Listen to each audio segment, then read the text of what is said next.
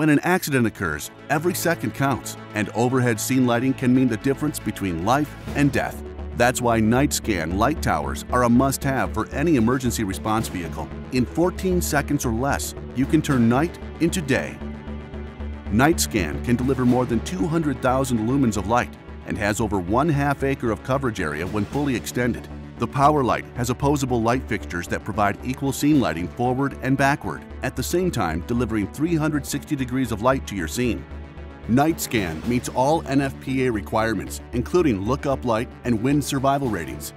The quick and easy auto deploy extends the tower with the push of a button. The full function controller with LCD feedback gives you complete control, even while wearing gloves.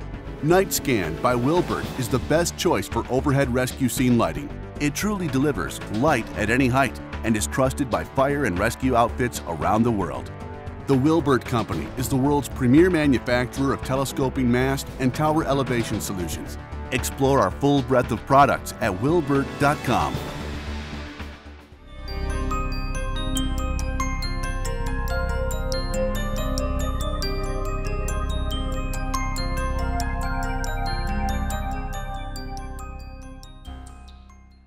sell the Night Scan Chief with a two light package, a four light package, and the one you see here is a six light package. It's uh, all, all self-contained with a built-in air compressor and it comes in a six foot and a seven and a half foot model. We have a smaller one as well that's uh, a little over three feet, but uh, we sell that you know, in the fire, police, towing markets. Uh, we put them on a lot of work trucks.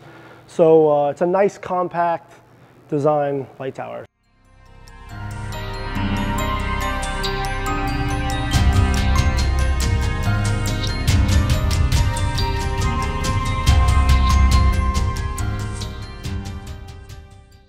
This is the power light. Uh, that guy comes in a 10 footer and a 15 footer. The cool feature about the power lights is that uh, standard with a power light, it comes with a dual tilt. So you can tilt each bank of lights independently from each other.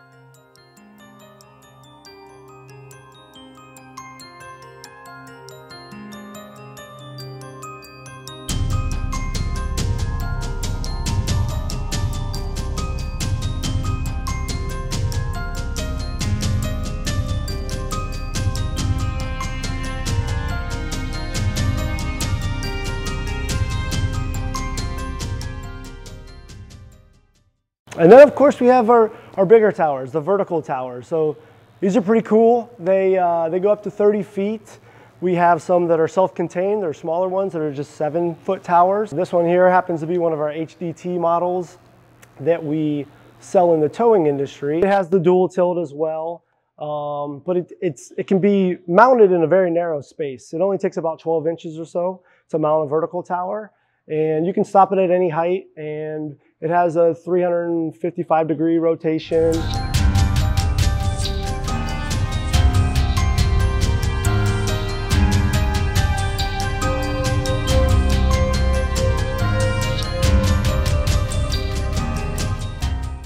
we have all different kinds of cameras actually. So you could get something as simple as a as an eyeball camera that we would just mount right on the light bar and it'll pan and tilt. Um, that's just if you just want a basic picture of the of the scene, or, or maybe the towing guys may just want to kind of record what they're doing um, to, for insurance purposes or something like that. Um, all the way up to dual HD thermal cameras that firefighters can use to pinpoint hot spots.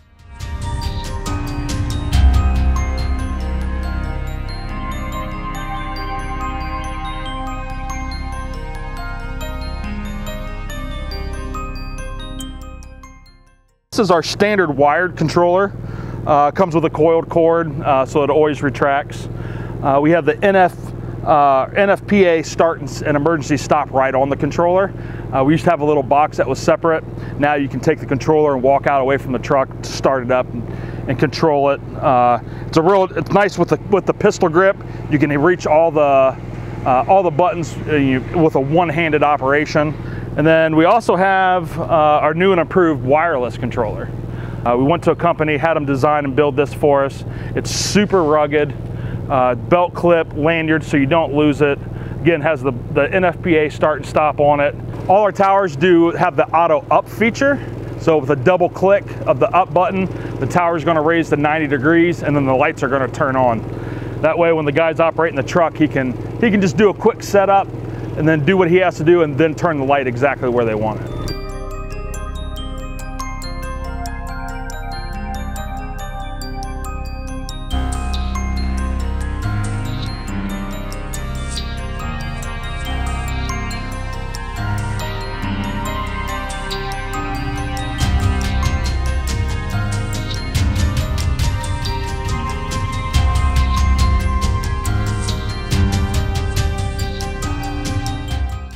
Uh, this is the Sirion, the Sirion Profiler, and then these are the uh, X200. Uh, this is on the six pack. They also offer uh, the XL200, uh, 20,000 lumen fixture that, uh, they, that we put on our light towers. We also offer 20,000 lumen Whelen, 20,000 lumen FRC, as well as 28,000 lumen Spectra Max and Spectra Max S. So LED and halogen are just two completely different kinds of light. Uh, they, they, use different powers, they use different optics. Uh, man, I wish I had some lights here to show you. And the miracle of modern technology. Look at that, we got some lights. Uh, so with the halogen, uh, they use, of course, the incandescent bulb. Uh, they use a reflector. It shines light up, down, both directions as well as out. So it's a lot of wasted light, light going in places that you don't want it. Plus the energy consumption of one of these lights one fixture is going to create, it's going to use more energy than a six pack of LEDs, plus the heat. These things are so hot you could roast a hot dog on them. I mean, it's, it's an immense amount of heat. When they come down, you definitely don't want to touch them.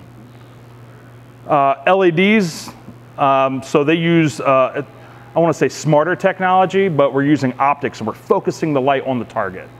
Um, I wish I had a light, another LED light here that I could show you. Uh, so this light is a spot flood combination. And as you can see, we're using individual optics instead of using a reflector. So this light is projecting it either a spot or a flood optic, either the flood to give you the width or the spot to give you your, your depth to light up your scene. Focusing 100% of the light that's made on your target, not wasting it on outlying areas where you don't need it. So I always hear the term lumens, raw lumens, and what's the other term? Uh, Lux? Lux. Okay, so I mean, everyone kind of gets wrapped up in the, in the lumens. Uh, lumens is the measurement of light that's taken at the source. So whether it's a halogen or it's an LED, the lumen measurement is taken right at the, right up against either the circuit or against the bulb. Then it has to pass through either an optic or go through a reflector, make it to the scene, and then that's what the lux is. That's the light on target. And that's what's important. The true test of that is seeing it with your eyes. I mean, you can sit and, and talk about numbers. Uh, you can do mathematical equations. You can see them at a trade show, but to actually see them at night, you know, when we come out to the guys' departments, we do a demo. The lights sell themselves. You're able to see exactly what fixture does what and make it match what you want it to do on your, on your scene to make it as safe as possible.